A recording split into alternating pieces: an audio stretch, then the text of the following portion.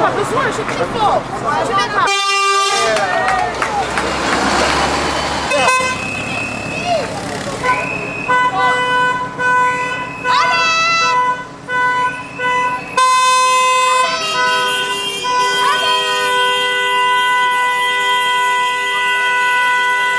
de notre colère euh, au fait qu'on nous supprime une classe en, maternelle et on va se retrouver avec des effectifs de double niveau à 28, euh, 28 élèves.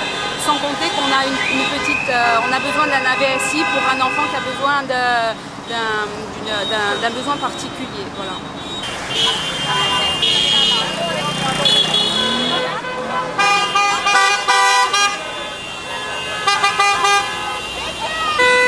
Le directeur d'académie nous répond que la classe est fermée et qu'il va recompter. Il se base uniquement sur les effectifs. Nous, aujourd'hui, on ne se base pas sur les effectifs,